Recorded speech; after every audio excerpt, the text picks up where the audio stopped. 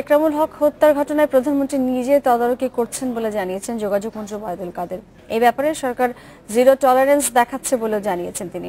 এদিকে বুধবার দুপুরে তিন দফা জানাজা শেষে ফুলগাজীতে হাজারো মানুষের চোখের জলে পারিবারিক কবরস্থানে দাফন করা হয়েছে। একরামের মরদেহ।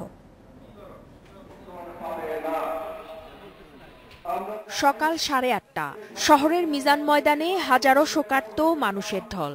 বুকে কালো ব্যাজ আর হৃদয়ে রক্তক্ষরণ নিয়ে সবাই এসেছে নিহত একরামের প্রথম জানাজায় অংশ নিতে। বাদ যাননি দীর্ঘদিনের রাজনৈতিক সহকর্মীরাও। সাড়ে দশটায় একরামের মরদেহ নিয়ে যাওয়া হয় তার কর্মস্থল ফুলগাজী উপজেলা পরিষদে। বোবা কান্নায় বিদায় জানান প্রিয় সহকর্মীরা। এরপর দ্বিতীয় জানাজায় অংশ নিতে ফুলগাজী পাইলট স্কুল মাঠে ছুটে আসেন শত শত মানুষ।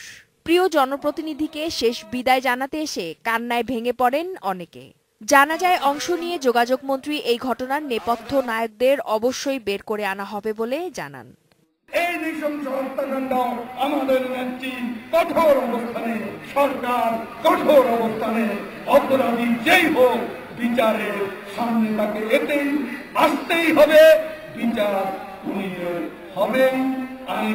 আওতায় আসতেই হবে।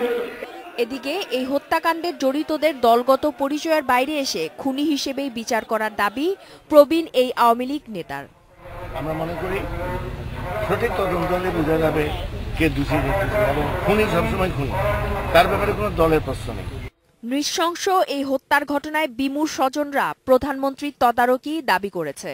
কঠোর হস্তক্ষেপ গ্রহণ করে তাহলে এই হত্যার বিচার পাবো। না হয় এই হত্যার বিচার এই মাটিতে কখনো হবে না। ভাবে তারা মারা মারছে। তাদেরকে যেন ধরে। ধরে যেন তাদের ফাঁসি কাছতে ঝুলে। বেলা সাড়ে বারোটায় পারিবারিক কবরস্থানে দাফনের পর বিক্ষুব্ধ জনতা স্থানীয় একটি বেইলি ব্রিজ উপড়ে ফেলে। Independent news.